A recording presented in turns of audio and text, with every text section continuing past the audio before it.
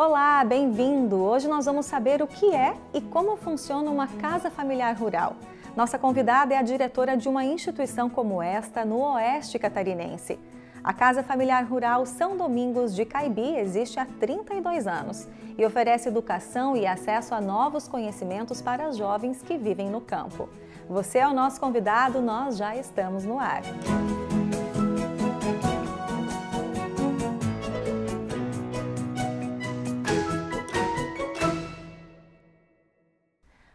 Movimento das casas familiares rurais nasceu na França na década de 1930 como um modelo de educação e formação profissional para filhos de agricultores. A proposta deu bons frutos e hoje é replicada nos cinco continentes com a mesma intenção: formar jovens para provocar o desenvolvimento do meio rural.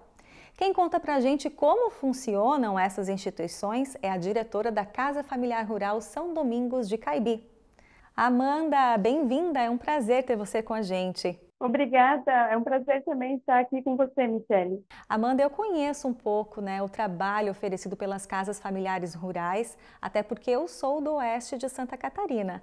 Mas eu percebo que muita gente desconhece né, a importância dessa instituição, tanto para o Estado quanto para o país, né? É preciso falar sobre isso, né? Sim, a, as casas familiares, elas vieram de um projeto que existe hoje na ela é na França. Lá já existiam as casas familiares há muito tempo. Então, esse projeto das casas familiares foi, né, meio que uh, foi copiado né, e ajustado aqui para o Brasil, que é uma forma de, principalmente, desenvolver o crescimento do pessoal do interior. É, é voltado principalmente para o pessoal rural, mas também acaba abrangindo um pouco urbano, porque hoje o foco das casas familiares é a formação de técnicos agrícolas em diferentes áreas, áreas de agricultura, agropecuária, zootecnia, entre outras. Isso faz, o que as casas familiares buscam é que tanto os filhos de produtores rurais permaneçam uh, nas propriedades, quanto que pessoas que se identificam pelas áreas venham, estudem e sejam em futuros técnicos e tenham na casa familiar a vivência que eles precisam para ter a, a parte prática depois trabalhando como técnico agrícola. Então, ela, ela fomenta, assim, o desenvolvimento regional, principalmente de, do pessoal do ensino médio se formar também técnico agrícola. E Santa Catarina foi um dos primeiros estados a aderir a esse tipo de, de escola, né? É, Santa Catarina atualmente tem 11 casas familiares. Amanda, e quem são esses alunos, então? De que, em que fase escolar que eles chegam aí? Em qual idade eles saem da casa familiar? Conta um pouquinho mais pra gente. Então, eles vêm para a casa familiar no primeiro ano do ensino médio e saem da casa familiar no último ano, quando eles se formam. Então, eles saem da casa familiar hoje em dia com 17, 18 anos e entram com 14, 15. E quantas turmas tem a Casa Familiar Rural São Domingos de Caibi? Atualmente, a Casa Familiar São Domingos ela tem três turmas uma turma no primeiro, uma turma no segundo e uma turma de, no terceiro ano, que são os formandos. E são pessoas é, jovens da região, só do município? Como que funciona essa questão de seleção das vagas para estar aí?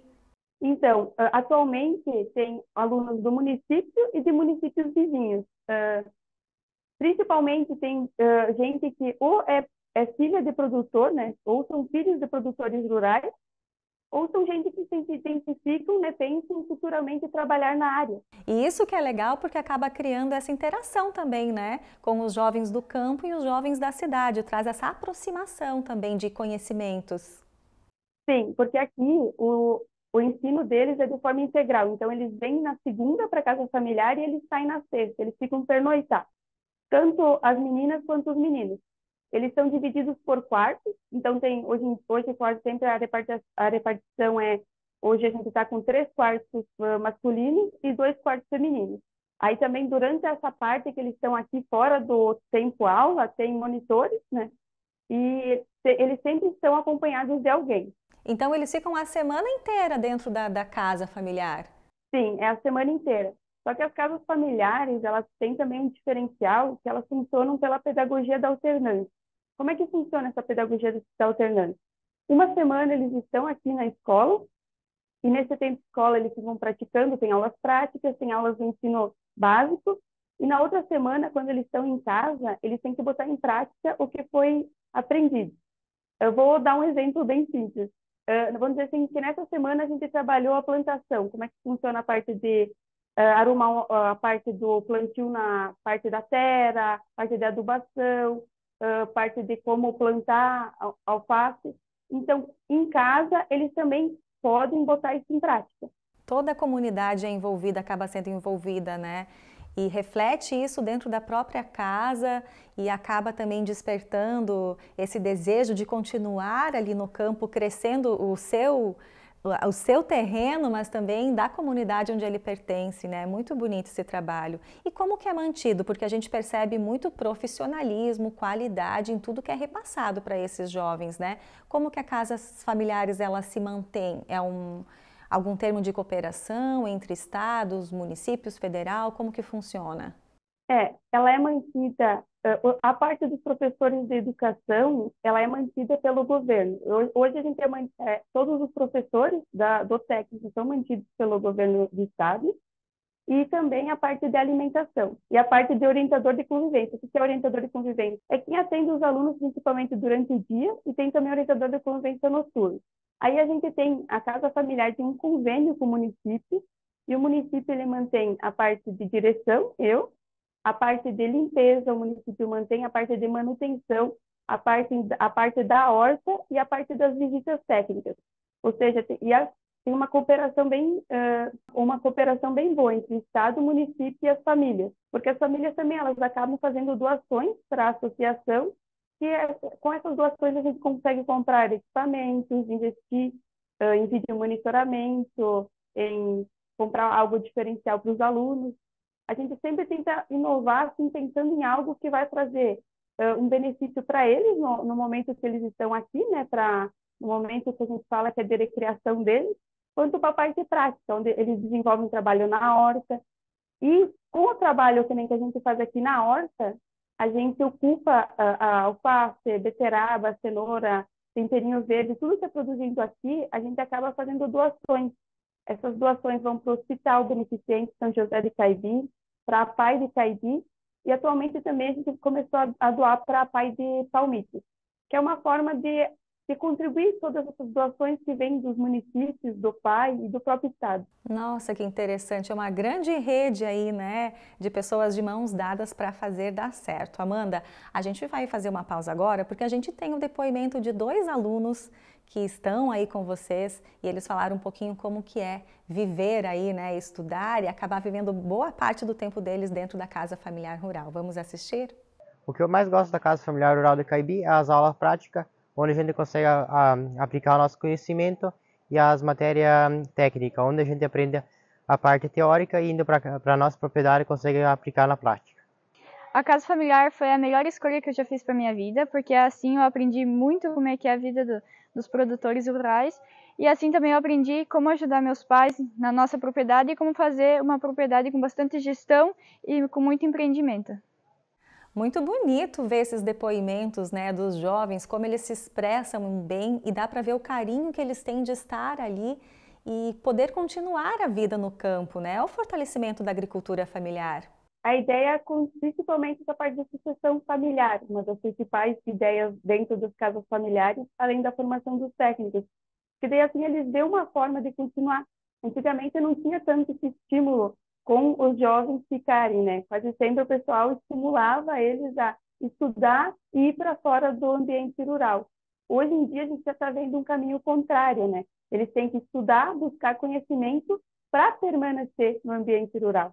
E vocês realizaram uma pesquisa, eu tenho um dado aqui de 2017, que identificou que 68,2% dos jovens permanecem na agricultura, desses jovens que já passaram pela casa familiar rural a maioria dos jovens da casa familiar de Caibi, eles retornaram né, para suas casas e continuaram na atividade.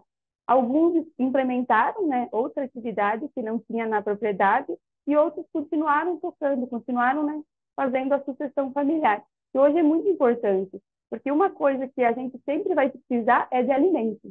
Amanda, e além de todo esse trabalho realizado de educação e formação né, dentro da Casa Familiar Rural, vocês também desenvolvem um projeto de inclusão. Eu gostaria que você contasse mais para a gente como funciona. Sim, a gente tem um aluno incluso, que é o João Gandolfi. Ele ingressou na Casa Familiar em 2022 no início dele, em 2022, foi bem eh, a, a, adaptação desse aluno foi bem lenta. Por quê? Porque a casa ela funciona de forma integral. Então ele também fica pernoitar aqui, fica o dia inteiro. Então no início ele chorava, ele ligava para a mãe, ele sentia aquela falta de casa. Ele se adaptou muito e os colegas dele abraçaram bastante ele. Então sempre os colegas acabam sempre incluindo ele nessa atividade. Uh, os alunos também do terceiro ano, eles acabaram fazendo Instagram para divulgar, né, a turma deles. E eles sempre acabam também envolvendo o João, o João nessas filmagens. Sempre quando tem algum trabalho, acabam abraçando ele para algum grupo. Para não, eu sempre falo que a, essa, a pessoa que tem alguma deficiência, ela não gosta de se sentir excluída nem de, de, de, eh, diferente das outras pessoas. Eles gostam de se sentir igual, porque eles têm aquelas barreiras, mas eles são uma pessoa como eu e você, né? Com certeza, que interessante, né? E acaba trazendo isso para discussão e acolhimento dentro do espaço escolar, mas também reflete em toda a comunidade, porque o aluno volta para casa, né, quando ele vem para o final de semana e comenta sobre as atividades de inclusão, né? Como é importante isso, né, Amanda? E era para ser só uma semana que vocês realizaram e acabou sendo aí o ano inteiro, né? Vocês trabalham esse tema dentro da escola. Foi uma, uma semana de inclusão realizada pela prof. Paula Mello, é, Paula Aliali Mello, uh, que ela, ela foi professora do João no ano de 2023. E dela fez essa semana de inclusão, fazendo várias atividades com o aluno João e envolvendo os colegas nessas atividades. E a gente vai fazer uma pausa agora para escutar o depoimento de uma aluna, colega do João. Vamos ouvir o que ela tem para contar para a gente.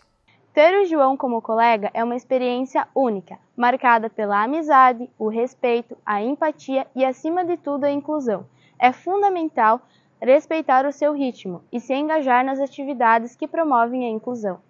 Realmente não existe diferenças, né, Amanda, entre eles e não deve existir entre nós, entre nenhum de nós, né? Sim, é, eu acredito que cada pessoa é diferente no jeito de ser dela, né? A partir que a gente aceita isso e compreende, o mundo delas e até o nosso se torna mais leve e melhor, né? Porque eu acredito que quando alguém vê alguma pessoa com deficiência e trata de uma forma diferente, a pessoa acaba se sentindo constrangida. Então, lá a gente estimula os alunos a tratar o João que nem qualquer colega, né? Ele tem suas barreiras, tem suas dificuldades, mas ele pode fazer, ele pode, ele pode que nem a gente, ele pode, claro que as atividades dele são adaptadas para a realidade dele mas ele pode uh, se desenvolver e ser tratado como qualquer um de nós, não precisa ter uma diferença nisso. Claro que ele também tem uma segunda professora que o acompanha, por causa dessas limitações que ele tem no ensino, né? Que tem que, ele precisa de uma ajuda a mais, né? De uma ajuda a mais, alguém a estar ali do lado dele.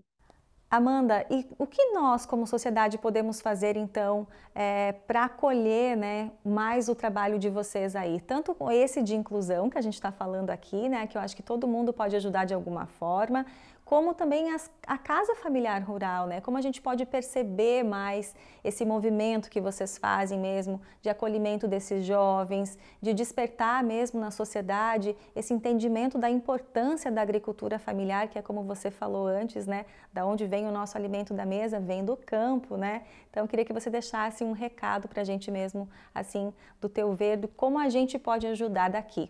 Eu acho que é importante as pessoas, às vezes, visitar tem a casa familiar. Eu acredito que, nem na minha cidade, em Caibi, tem muita gente que sempre foi de Caibi, mas que nunca, né, desceu até aqui na casa para conhecer, para ver como funciona. Eu até era uma dessas pessoas. E depois que tu convive com o trabalho, né, você vê como ele é feito, você acaba né, se apaixonando por ele. Porque você vê que os jovens que estão aqui, eles buscam realmente uma ligação né, com, o agro, com a agricultura vamos continuar né, esse desenvolvimento. Com certeza, nossa, a, a pedagogia de vocês é linda, né? Acho que merece respeito, admiração e fica realmente esse convite, né, Amanda? A Casa Familiar Rural São Domingos de Caibi está de portas abertas para receber aí é, visitas, assim como as instituições também que fazem outros tipos de inclusão. É, como a Amanda falou, são 11 casas familiares rurais no estado de Santa Catarina, né, Amanda? Tenho certeza que todas aí vão receber a comunidade que quiser visitar. Amanda, te agradeço. Tivemos uma aula hoje aqui de, do que é e como funciona as casas familiares rurais. Te agradeço, obrigada. E seja sempre bem-vinda, né? A gente pode ainda fazer mais um novo programa sobre isso, porque o assunto é bem importante.